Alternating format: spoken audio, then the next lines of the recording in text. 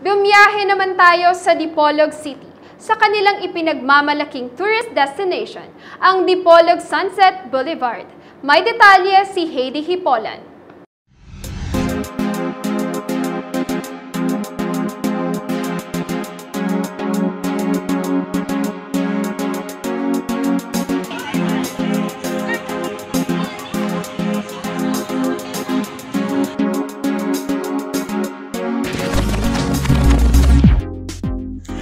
Dahil sa patuloy na pagbaba ng mga kaso ng COVID-19 ay nagiging maluwag na rin ang pagbiyahe ngayon sa ibang bahagi ng Mindanao kung kaya't isa rin ako sa mga nagkaroon ng pagkakataon na madalaw ang aking pamilya na nasa malayong lugar.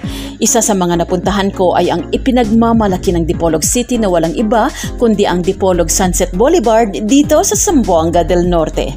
Ang Dipolog Sunset Boulevard o Foreshore Development and Wellness Center ay may 2.6 kilometers na kahabaan ng baybayin mula sa Santa Cruz ng Barangay Central hanggang Purok Bularan ng Barangay Miputak.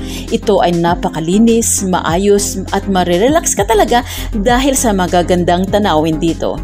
Tuwing umaga ay di mabilang ang mga pumupunta dito upang maglakad, mag-jogging o mag-ehersisyo. Sa hapon naman, isa itong perfect place upang panoorin ang golden lights o ang sunset at maaaliw ka talaga sa nagliliwanag na kalangitan. Pasyalan ito ng maraming pamilya at magkakaibigan at dinadayo rin ng maraming turista. Patok ito bilang isa sa mga tourist destinations at tinawag din ito ng iba na Boulevard of Broken Dreams. Sa gabi, ang kahabaan ng Dipolog Sunset Boulevard ay perfect bonding place.